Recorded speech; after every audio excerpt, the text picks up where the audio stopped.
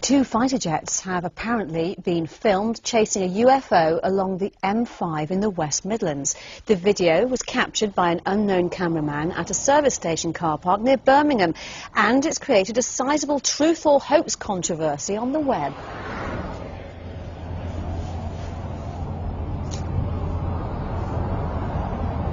So what do you think? Nick Pope worked for the MOD studying reported UFO sightings for 21 years.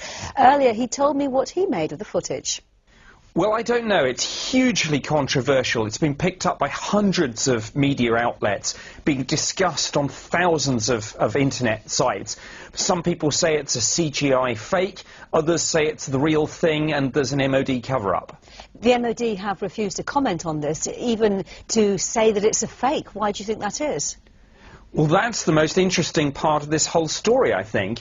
Um, if this was a fake, MOD could have killed the story in an instant just by saying, look, we, we don't think this is real. But they didn't say that. So that's fueling the uh, conspiracy theories. Because jets are scrambled, if there's a potential threat, could this be a security breach?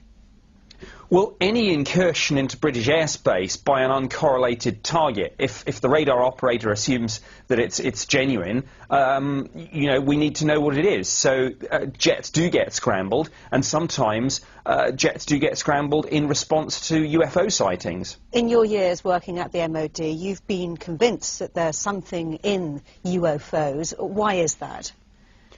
Well, I think that while most of them can be explained as misidentifications, we had numerous cases where these things were seen uh, by pilots, tracked on radar, performing extraordinary speeds and manoeuvres. And we weren't saying these were aliens, but we were saying whatever they are, uh, there are serious defence, national security and air safety issues here.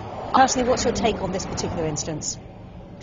I, I really don't know. It's a 50-50 call, but these sorts of things seem to be on the increase, so uh, I, I think it's worth a look. Nick Pope, thanks for your time.